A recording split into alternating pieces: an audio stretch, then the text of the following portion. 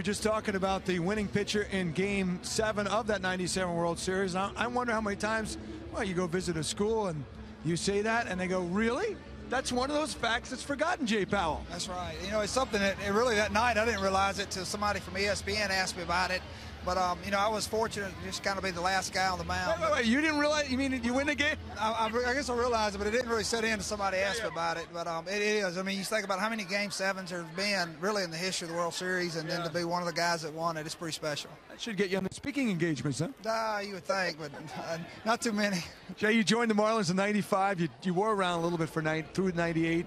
Uh, the, the downside too. When you think back of, you get a chance to reminisce with all these guys, uh, your thoughts on those years? Uh, I mean, it was great. I loved it. You know, for me, I had a lot of great memories here. I was a rookie, so you know, I had some great older guys that kind of took me under their wing.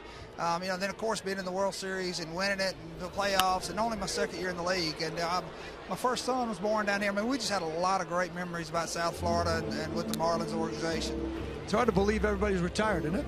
It is. Um, you know, and i have got more gray hair than any of the other players, and I'm younger than some of them. But yeah, you know, when, when I start looking now, like watching the, the Nationals and Marlins, I don't look at the players anymore. I look at who the coaches are, because that's, yeah.